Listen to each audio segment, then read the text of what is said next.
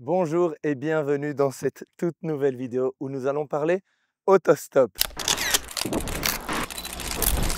Je vais vous partager toutes mes astuces. Règle numéro 17, ne pas le faire à trois mecs avec des gros sacs. Règle numéro 48, arrêtez de croire que tout ce que je vous dis est correct, on peut se faire prendre par des Porsche. Voilà, on va apprendre où, quand et comment faire de l'autostop. On va aller à la rencontre des gens, on va apprendre pourquoi tu t'es arrêté pour moi, pourquoi tu prends des autostoppeurs en fait? Et puis en fin de vidéo, je vous partagerai mes meilleures anecdotes d'autostop. On est parti. Salut, moi c'est Simon et mes potes m'appellent Cave. Depuis deux ans, je me suis donné la mission d'apprendre à voyager autrement. Voyager plus lentement, plus écologiquement. Sortir des sentiers battus, des zones touristiques et partir à la conquête de magnifiques paysages à la rencontre de l'autre. Aujourd'hui, je t'amène dans une mini-aventure. Partir de Bruxelles et rejoindre La Rochelle en une seule journée, tout en te transmettant tout ce que j'ai pu apprendre pendant mes voyages en Amérique du Sud, au Canada ou en Europe. Bonne vidéo et n'hésite pas à donner tes propres conseils en commentaire. Mais avant de faire de l'autostop, il faut que l'on parle de l'emplacement. Parce qu'ici, je suis en plein milieu de Bruxelles. Ça n'a pas de sens de me mettre sur le bord de la route et d'espérer que quelqu'un m'amène où je veux. Il faut toujours essayer d'être sur un grand axe, là où il y a du passage et où là les gens peuvent vous emmener loin. Donc ici, on va directement aller prendre un tram qui va nous amener en dehors de la ville.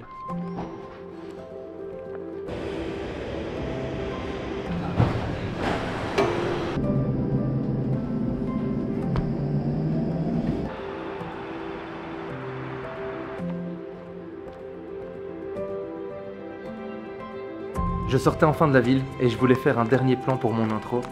Moi qui fais de l'autostop sur un rond-point parce que ça n'avait aucun sens. Quand il s'est passé un truc improbable. Cette toute première voiture a cru que j'en faisais et s'est arrêtée. Le truc c'est que moi, je ne l'avais même pas vue.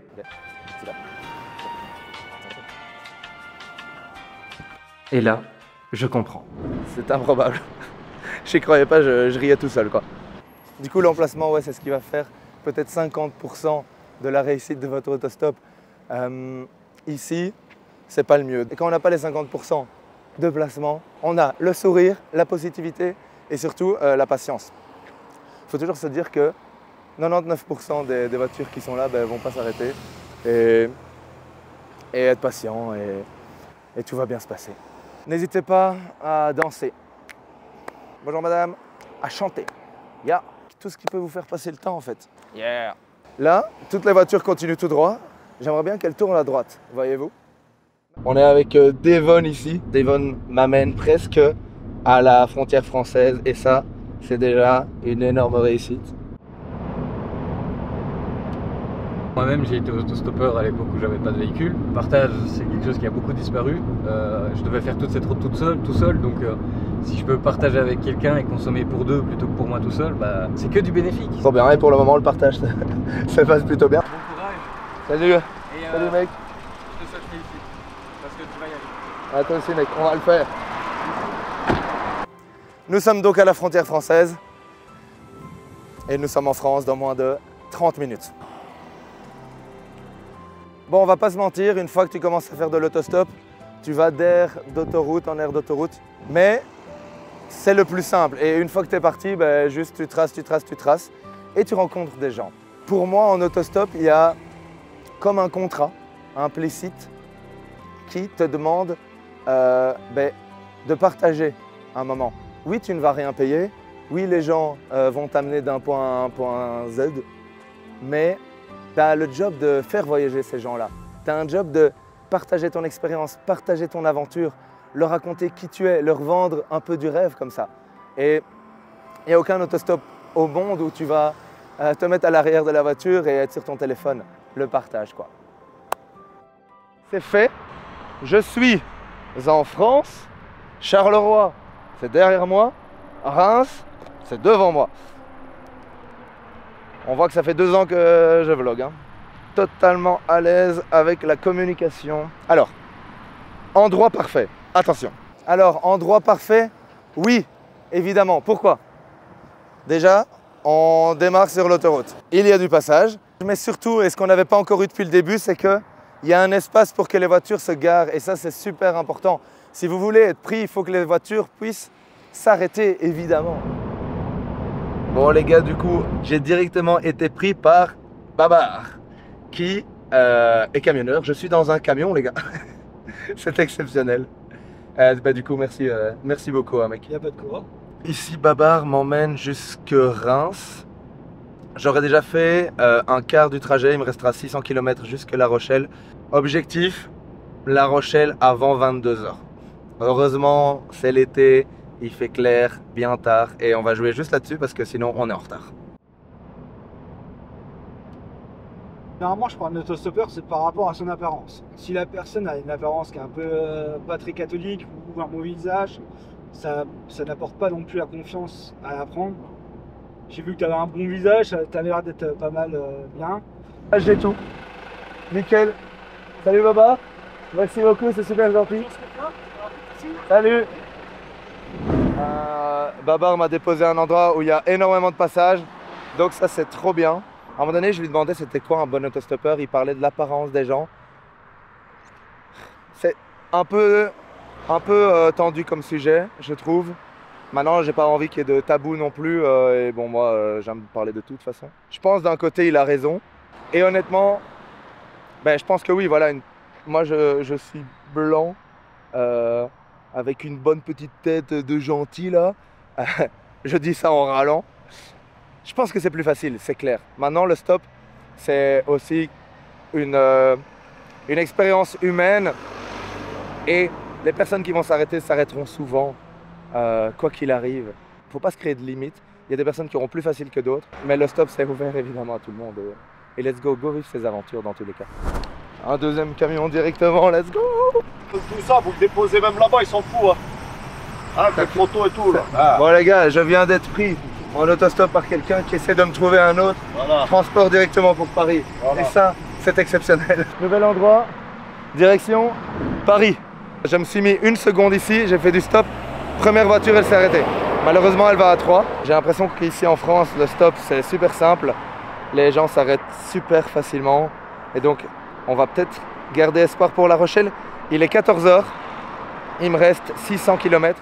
Bon, et bien, alors que je pensais être à un endroit exceptionnel, je me rends compte qu'il n'y a pas du tout de passage. Toutes les voitures vont dans cette direction, mais pas dans ma direction.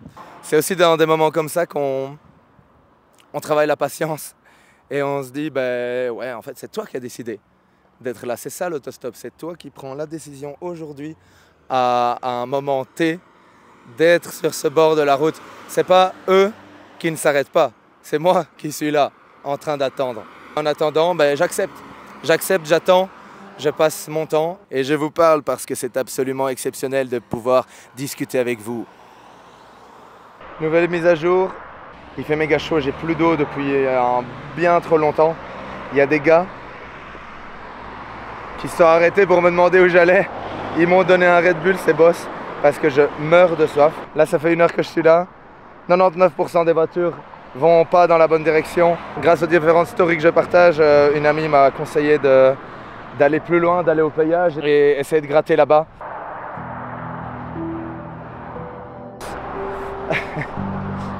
Juste là. En vrai, là, si personne me prend, c'est que y a un problème chez moi, quoi. Euh, catholique ou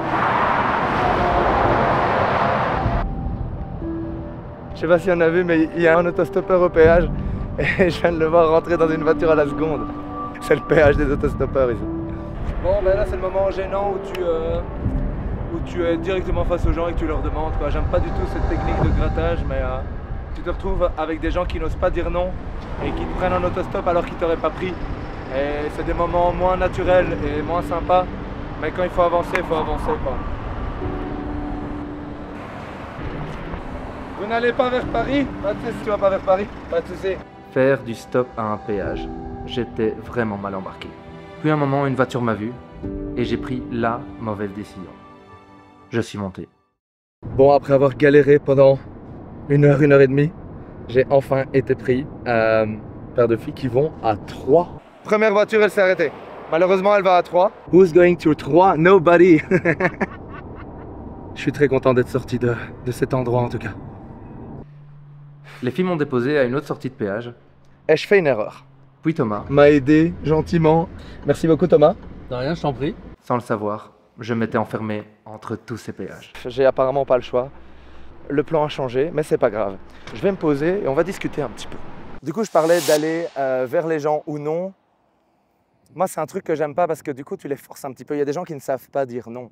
Ça m'est déjà arrivé qu'une personne me dise oui, me dise attends, je vais faire demi-tour et se barre, littéralement, parce que cette personne ne savait pas dire non et that's fine, c'est ok. Moi, je préfère ne pas forcer les gens et c'est pour ça que je préfère être sur le bord de la route, faire mon petit, mon petit stop, tu t'arrêtes si tu le veux vraiment. Quoi. Dans, les, dans les différentes écoles, il y a aussi pancarte ou pas pancarte. Personnellement, je suis contre la pancarte. Ça, c'est contre Attends. ma théorie, ça. Je préfère que la personne s'arrête et puis on voit. et puis on discute. Et puis tu me donnes un petit Red Bull. je pense que quelqu'un qui te voit et s'arrête, c'est quelqu'un qui, avec ou sans pancarte, se serait peut-être arrêté. Donc voilà. Encore une dernière école, c'est un peu lié à la pancarte, je dirais. Est-ce que maintenant j'accepte que quelqu'un m'amène vers, euh, Orléans ou alors je veux quelqu'un qui m'amène à Orléans? Et ça, même chose, moi je suis team step by step. On avance. On avance tant qu'on peut. Après, parfois, on te dépose à des endroits qui ne sont pas intéressants, comme ici. C'est à vous de tester aussi, c'est à vous de tester ce que vous préférez. Je sais pas si vous avez vu les gens, mais ils sont cool. Ils font tous des signes. Allez. Et j'aime bien aussi faire des grands signes. Déjà, tu vois, ça attire le regard. Il y a peut-être un eye contact. Le eye contact est très, est très important. Je continuais ma vidéo tranquillement, mais plus le temps passait, plus je perdais patience. Quelque chose clochait. Cela fait maintenant une dizaine de voitures qui s'arrêtent pour, euh, ben, pour m'aider.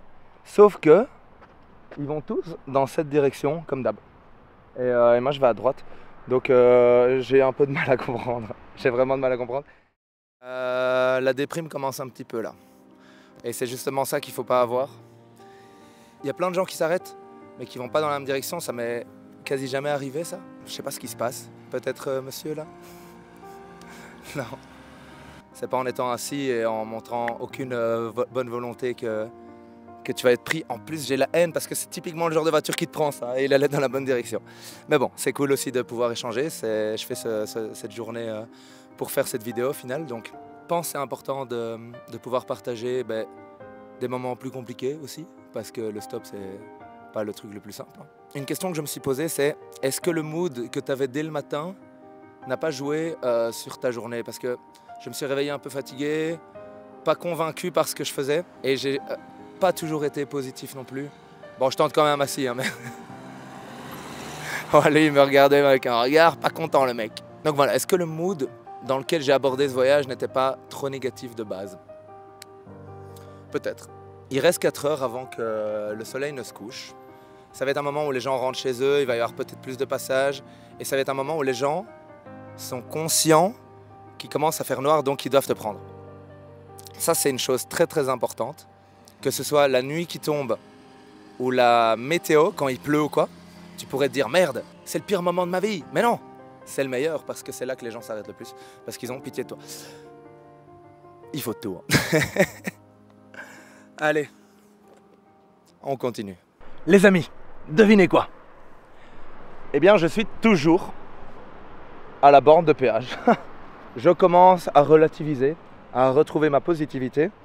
Euh, je voulais reprendre la caméra parce qu'en fait, il y a des gens qui continuent à râler, à râler, et ils tirent des tronches comme si tu étais un martien, que tu n'avais pas le droit d'être là, etc.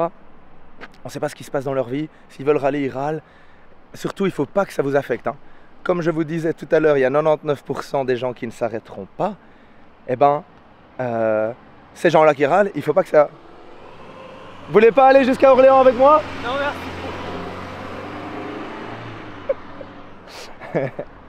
Et voilà, en fait, il faut pas être affecté par les gens négatifs, mais les gens positifs comme ça, bah let's go quoi. S'il vous plaît, madame. Madame ne va pas regarder, madame m'a nié. Socialement, euh, bah, ça fait mal. Mais non, c'est normal. T'es sur leur route, frère. Ils ont rien demandé. Le temps commençait vraiment à être long. Personne ne passait, alors je prenais mon mal en patience. Come on, please. Fini de faire le gentil. Je vais me mettre aux barrières et je vais aborder absolument tout le monde. Il est 19h30. euh, Frérot, faut avancer quoi. Excusez-moi, je, je galère vraiment. Et J'aime pas directement aborder, mais vous n'allez pas vers Sens Ça va. J'ai l'impression qu'ici en France, le stop, c'est super simple. Un moment, je me suis éloigné du péage pour voir si ça fonctionnait mieux, mais rien n'y faisait. Je sais pas trop quoi dire là en vrai. euh. Et au final, je suis content de pouvoir vous montrer que l'autostop, ça ne se contrôle pas. Tu peux suivre tous les conseils du monde, optimiser tes chances, mais tu ne peux rien prévoir. Et pour cette raison, il faut sûrement se donner des plus petits objectifs quotidiens, être ouvert à faire des détours et bien plus prendre le temps. À noter aussi que j'ai euh, adopté la technique du désespéré, euh, version 1. C'est-à-dire que je fais de l'autostop et puis mes mains se rejoignent pour euh, prier. ça prie. Ça prie, ça prie, ça donne au moins le sourire aux gens. La version 2, c'est que tu te mets en plein milieu de la route et tu ne les laisses plus passer. Incroyable, cette journée. Ah, mais j'espère que vous passez un bon moment quand même à me voir galérer. Euh, que je vous apprends quand même certaines choses parce que c'est aussi le but de cette vidéo. Parfois, des voitures s'arrêtaient pour m'aider, mais le scénario se répétait. Ils n'allaient jamais dans ma direction. Je dois vous annoncer un truc. On n'arrivera pas à La Rochelle aujourd'hui. Je ne comprenais pas, mais un camionneur m'a apporté des réponses. C'est vrai qu'il va y avoir très peu de passages ici. Nous, on dort régulièrement ici. Euh, Parce que c'est calme. Parce que justement, c'est calme. Ouais, ouais, ouais, ouais. J'ai juste la pire air du monde, quoi. Oh. Salut, mec. Alors, sache que je galère depuis 4 heures. Mais dis-moi que tu, tu pars vers la gauche, c'est ça Chaumont, ouais, la gauche. Parce que tout le monde va à gauche et pas à droite. Non, moi je vais direction Dijon, ouais. Bon T'es t'es le 15ème, t'inquiète. Les gens s'arrêtent quand même un peu? Très peu, mais en 4 heures, mec. Oh, un de plus. Bon, vous l'avez eu en live celui-là. My God Ça me fait mal, mal, mal d'avoir passé 4 heures ici, mais à un moment donné, il faut accepter. Enfin, genre, euh, j'ai déjà forcé beaucoup trop, je pense. Euh, je n'arriverai pas. Je vais attendre 10 voitures. 10 voitures pour essayer d'aller à Sens. C'est mon nouvel objectif, pour donner un sens à ma vie. Et si dans ces 10 voitures ça fonctionne pas, je vais aller dormir dans 3. Et, et puis c'est tout. Les amis, le soulagement est énorme. Je suis enfin dans une voiture. Genaël a gentiment accepté euh, de m'amener un petit peu plus loin. Et un petit peu plus loin, c'est quoi? C'est à Sens. On va le faire. On va le faire. L'attente a été tellement longue que la joie que, que me procure cet autostop est d'autant plus dupliquée. Donc c'est trop bien. Je suis content, je suis soulagé. J'avais pas envie d'abandonner. Merci. Non, c'est trop bien, c'est trop bien. Et on va dans cette ville mythique que personne ne connaît. Let's go. Mais merci beaucoup. Euh, à toi aussi. Non, non, non. Je ne veux pas. Salut. hein. Merci. Yes. Yes, yes, yes. Yes. Yes. Ah Oh là là là là là là, j'étais sur le point d'abandonner les gars. Bonjour, je vais à Sens si jamais. ah, beau jeu de mots. Let's go Je deviens fou. Un autostop qui se passe bien. Et voilà, c'est ça. Si tu regardes cette euh, vidéo, j'espère que tu as été consciente de l'aide que tu m'as apportée. Mais Guenel, je ne suis toujours pas à Sens. Donc j'y vais. Et j'ai ensuite marché jusque dans la ville, j'ai trouvé un hôtel, et cette journée était terminée.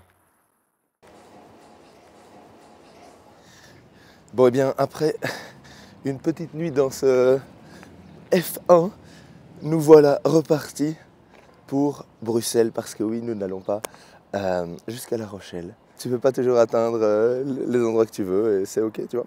C'est ça la beauté de l'autostop. On est parti, let's go. L'objectif, c'est de quitter la ville de Sens. Profitons de cet instant parce que je suis peut-être la première personne qui vlog dans la ville de Sens. Si c'est pas beau ça J'ai décidé de marcher pour quitter la ville, et après réflexion, j'ai décidé de partir vers Paris. Qui dit Paris dit péage. On retourne dans cet enfer dans 3, 2, 1, let's go. Qui l'eût cru? Me voilà de retour à une station de péage. Une personne vient de s'arrêter et m'a proposé de m'amener dans la direction de Paris, donc dans ma direction. Là où il allait me déposer, ben, c'était tout perdu quoi. Parfois, il faut pouvoir faire le choix de ne pas monter dans une voiture quoi. Si, euh, si tu sens que ça va pas t'aider, vaut mieux peut-être pas avancer. Et puis, comme sorti tout droit d'un rêve, des Belges. Je suis pris, je sors de ce péage. Let's go Let's go, let's go, let's go, on se casse d'ici.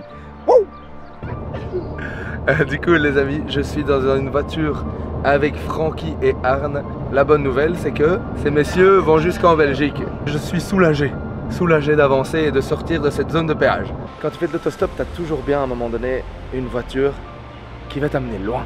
Si tu veux descendre Lyon-Marseille, si tu attends un petit peu, euh, C'est la première aire d'autoroute que je vois. Fini les péages. Parce que oui, le problème de mon aventure, c'était ce blocage au péage. Mais une fois que l'on est sur des aires d'autoroute, ça roule tout seul. Et on regardait justement avec Francky où il pouvait me dropper. Salut Arne. Dankjewel. Merci. Merci. De rien. Et quand je vois quelque chose, parfois un reportage, je dis Simon, c'est celui que je. Merci beaucoup. On a passé quoi Trois heures ensemble. Euh, ils étaient super gentils. Genre, ils étaient vraiment tout mignons tous les deux. Le, le- le père, ouais, c'était aussi un grand enfant avec son fils et c'était vraiment beau et j'ai vraiment kiffé. Je suis proche de la Belgique. Voilà, il me reste trois voitures, espérons. Trois voitures max et nous sommes à Bruxelles. Et c'est la fin de l'aventure. Et quasi directement, Peut-être un camion, les gars. Bonjour. Ah, je vais jusqu'à Bruxelles. Ouais, ben on va faire ça. hein. Allez, trop cool. Hop. Voilà. Hop.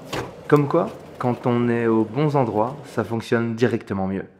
En deux autostops, j'étais quasi chez moi. 4 heures de route comparé à 10 heures la veille.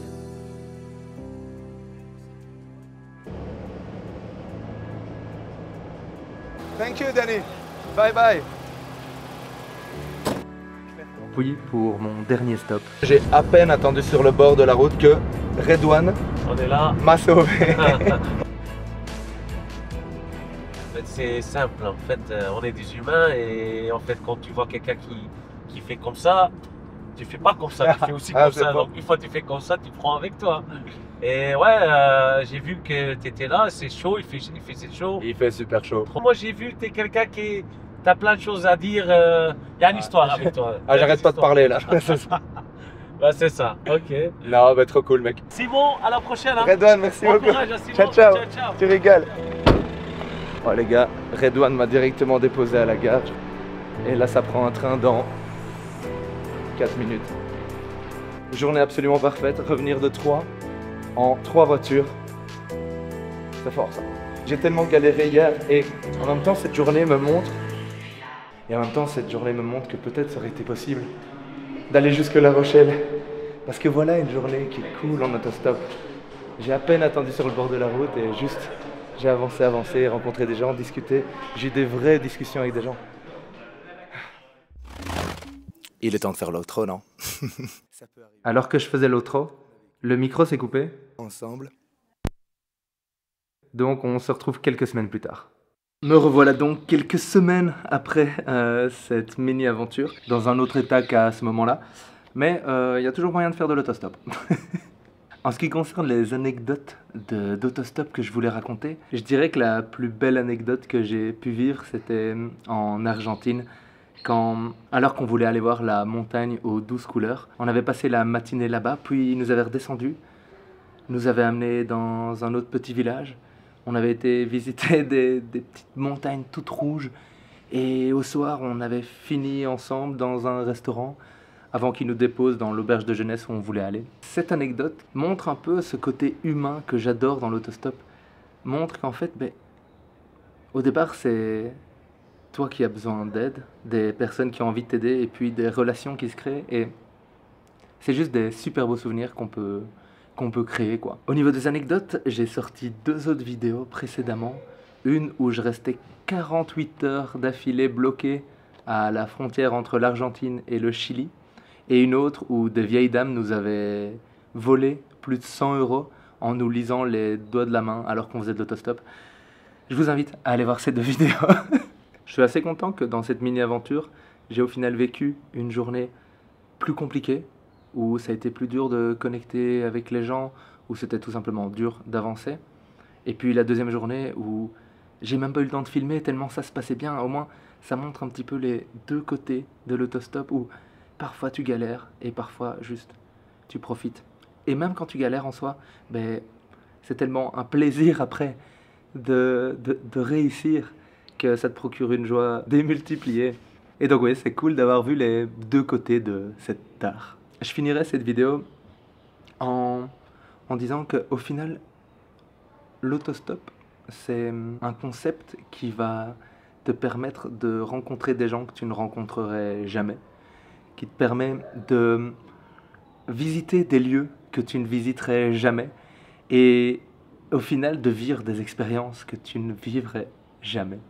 Et c'est un tout qui est juste magnifique et que je pense qu'il faut au moins tester une fois dans sa vie. En tout cas, moi je le recommande grandement. Si tu es encore là, merci beaucoup d'avoir regardé la vidéo jusqu'à la fin. J'espère que ça t'a permis d'apprendre tout ce que tu voulais savoir sur l'autostop. J'espère que ça t'a donné peut-être envie d'aller euh, en voyage en autostop. Et puis ben, moi, si j'ai fait cette vidéo, c'est pas pour rien. Je vais partir euh, dans quelques semaines à l'autre bout du monde en autostop. N'hésite pas à me rejoindre sur Instagram pour avoir les informations en live. Je vais très bientôt l'annoncer. Et n'hésite pas à t'abonner à cette chaîne YouTube pour suivre cette aventure qui sera pour sûr la plus folle de ma vie. Ciao. oh, le plan avec les toilettes juste derrière. Avec le péage, c'est beaucoup mieux. I guess I wonder, wonder why. Alright, let's go.